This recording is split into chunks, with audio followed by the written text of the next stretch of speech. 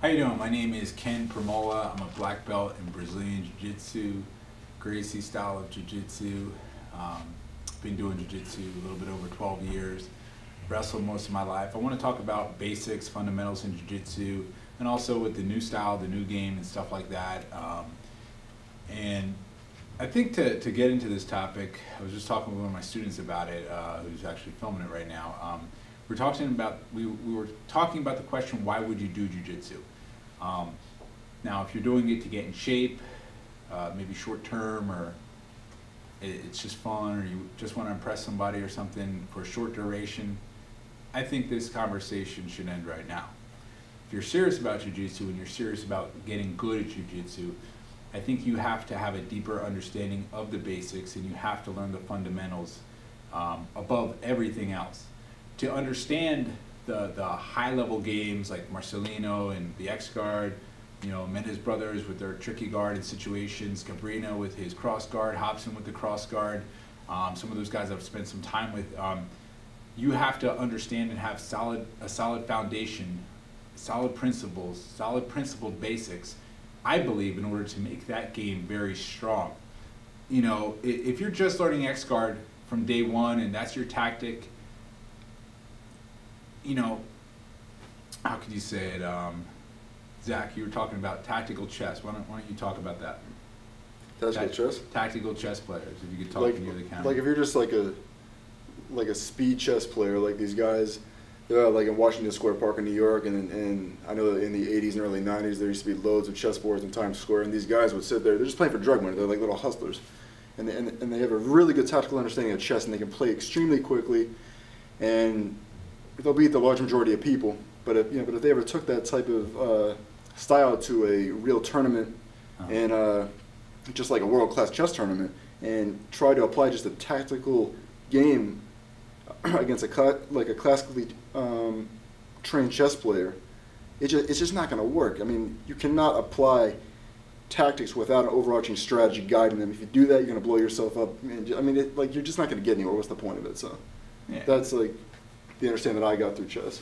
I, I agree, and I think um, I think in saying that, it's not to say you shouldn't learn those things. You shouldn't try to understand everything, um, but it's going to be very difficult if you don't speak that language, speak it, speak the basics of the language well. And you know, Zach's actually he lived in Brazil for a few years. He's teaching me Portuguese right now, and it's helping my jiu-jitsu a lot because, I mean, my experience in Portuguese. I lived in Brazil for some time had a girlfriend who didn't help me speak any uh, any any Portuguese, even though she didn't speak any English, and a lot of other people who just taught me quick stuff. I think tactical stuff to get by.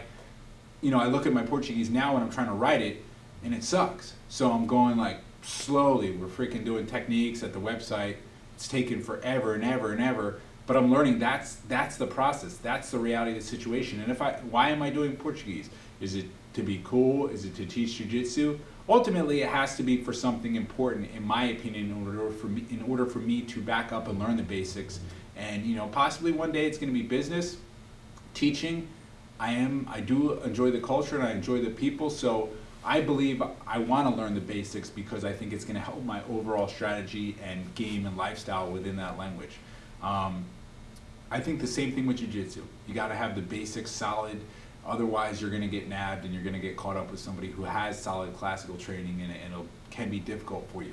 Again, it's not to say you don't go to Joe's seminar who's just the world champ, but if you're just a beginner and and you don't know anything, mm, it still has value, but you know, if you're trying all these fancy moves because of some name or something, or because some guy is big and strong, and you're not that type of person, I'm not so sure for me how valuable that is. I like to get the deeper understanding of the basics again, not saying which one is better or worse, but I think it's important to understand your game, your basics, and not get um, get your vision clouded by what's out there, what's hot, what's today. And I've been in jiu-jitsu for a while, and I've studied this history, so I see a lot of where those things stem from, and I watch their games as they develop, and they did have good a good understanding of basics. In my opinion, Marcelinho has good basics, and then you know he kind of gravitated toward that X guard and he did it really quick. It's not just that he did it, he did it quick and he had stuff to back it up.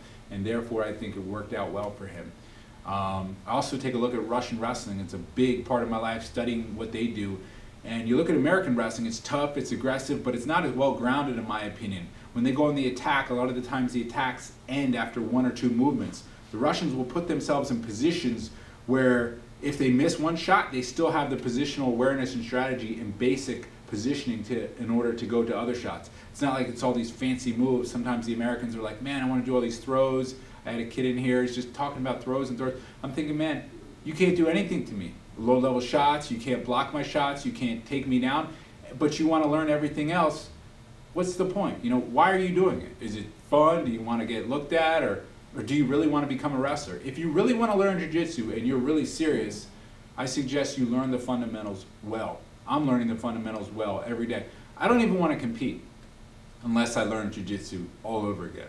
And you know, I look at myself when I have competed and the tactics I've used, and it's just like, eh, uh, okay, I won. Uh, that looks good, but like, my reasons were were not deep in my opinion. And today, you know, when I do compete again one day, which I for sure will, um, I want to have a, a much deeper understanding and and and represent and respect the sport a lot better than just the trash that I've been putting out there. So that's my opinion. Uh, let's hear your opinion and let's hear discuss your thoughts. All right. Thanks for your time. Thank you, Zach. I appreciate it.